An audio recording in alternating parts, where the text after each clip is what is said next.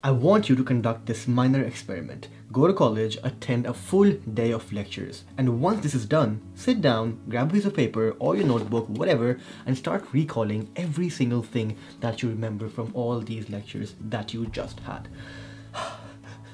exactly what I'm trying to tell you. What's cooking sapiens? Welcome back to my channel. If you are new here, my name is Arham and I'm a fifth year medical student at the University of Oslo here in Norway. So this semester I did not attend any lectures at all and my lectures I'm talking about you know the traditional forms of lecture where you are sitting there as a student and there's a teacher or a professor who's basically teaching you stuff by using I don't know a PowerPoint or a blackboard, whiteboard, whatever. Uh, so I'm not talking about you know seminars or TBS, which are like more interactive, you know, more active forms of um, learning. So they don't really count as lectures. Before I break down what exactly I experienced by not attending lectures, let's have a short look at what research says about you know having these passive traditional forms of lectures.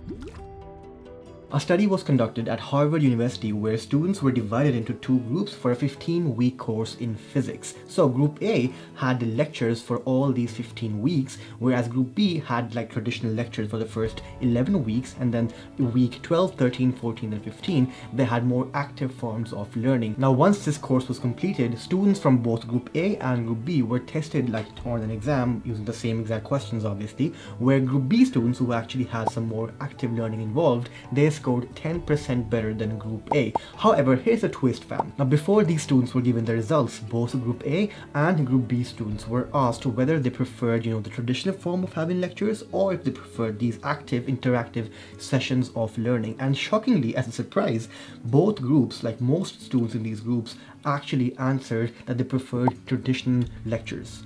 Isn't that insane? Now from this we can actually draw two conclusions. First of all, we as students are poor judges of our own learning. Passive learning, you know, seems quite effective when it actually isn't. And secondly, traditional lectures are not as effective as we like to think. And now let's talk about what exactly were the things that I experienced by not attending lectures. And the very first thing that I actually experienced was that now I had tons of time to myself. And I know this may sound extremely generic, so I'm going to try and quantify the exact number of hours and days approximately which I have saved by not attending lectures.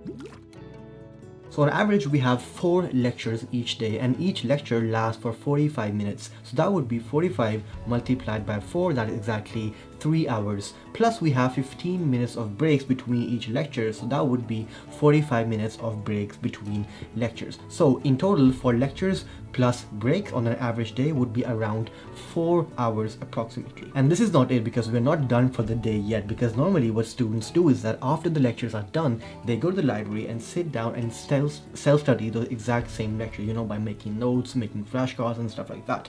So let's say we are studying for a minimum, for a minimum of 2 hours. It's much more than that, but let's assume a minimum of 2 hours so to have this minimum amount of time that we have saved. So two hours of self-studying plus four hours of lectures on a typical day would be around six hours of studying or going through the exact same lectures on an average day. So how much time have I actually saved by not attending lectures? So what I do nowadays is that I just sit down and go through the lecture PDFs or the PowerPoints and make Notion que like questions on the app Notion using the toggle feature. And this actually takes much less than actually, you know, physically attending the lecture because there are quite a few slides on the PowerPoint PowerPoint which are not really relevant so you just skip through these and just, you know, focus on the relevant material. And previously I actually used to watch lecture recordings at two times the speed, but I rarely do that now these days because, you know, I want to save time and I don't see the point in watching the lecture recording unless there's a very, you know, difficult concept which I cannot understand or grasp by myself, you know, by Googling it. So let's say on average I'm spending 30 to 40 minutes on each lecture, you know, by self-studying. Uh, let's assume 40, you know, just for the sake of it. So 40 multiplied by 4, 4 lectures per day would be around 2.5 hours. And that's like effective studying but i'm not really that effective so let's assume that i'm distracted and having and i'm having breaks as well uh, and just add 30 more minutes. So the total would be three hours in total for one average day where I have to you know self-study all these lectures. So by attending lectures I was spending 6 hours a day on school and by not attending lectures I'm spending 3 hours a day on school and my learning outcome is equally good. So I've saved 3 freaking hours a day and you know I've accomplished the same amount of learning in half the time. And now try and imagine what you could do with these 3 freaking extra hours per day. And if that does not sound impressive or convincing, let me break that down even further for you. So let's assume that per semester we're having around 100 days of lectures. So 100 multiplied by 3 because right, we're saving 3 hours per day. So 100 hour 100 days would be 300 hours we have saved. And 300 hours equals 5 freaking days. So we have saved 5 days and you can actually go on a holiday trip for these 5 days.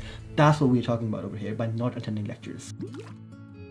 Now, even though I have saved tons of time and this may sound completely insane, but there's still one major thing that I have missed out on by not attending lectures, and that, my friends, is the social experience. Now, this is one of the most positive aspects of attending lectures. You know, when you are there, sitting there at the lecture hall with your friends, you know, having fun, having banter, you know, that experience is quite, you know, it's, it's a totally different vibe. So even though my social experience decreased to a great extent by not attending lectures, I did not really feel it that much because, you know, probably the pandemic has gotten us all used to it, you know, to being by ourselves.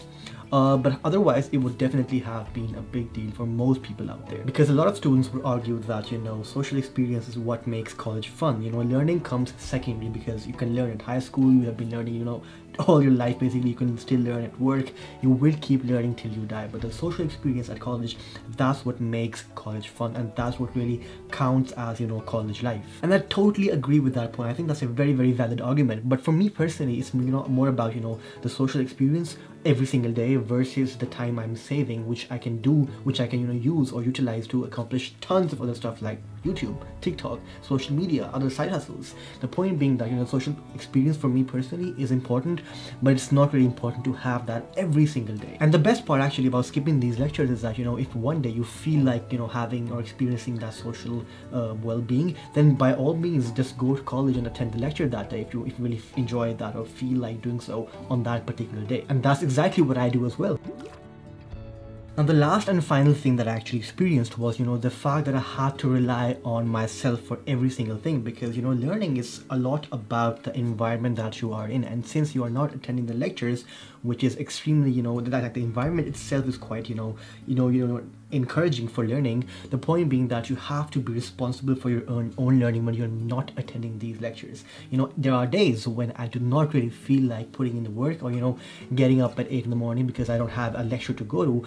So it's really hard to, you know, push yourself at days to get that work done when you don't feel like doing it. So I did have quite a few days where I had problems with discipline where I did not want to get the work done and hence I had started falling behind on lectures. But for that I had my own strategy and even though, you know, Uh, I had this particular strategy for catching up on lectures, it's still a big deal when you have to catch up so many lectures, you know, just before, you know, three, four weeks before your exams. But even though I did struggle on quite a few days, I still believe that it was super valuable, valuable because I have now developed this self-reliance that I have. I have developed the trust in myself that, okay, you know what, I can get this done. I do not have to be physically present at the lecture. I don't have to, you know, I don't need the professor to, you know, shove all that material down my throat. I can actually learn this, these things by myself as well or at least most of it, you know. That's a wrap for today's Sapiens. Now, if you want to learn how to take active recall and spaced repetition to a whole new level, then this is the video to watch. And if you want to know why and how I stopped taking notes in medical school, then here's a link to that very video. So yeah, I'll see you guys on the other side. Take care. Peace.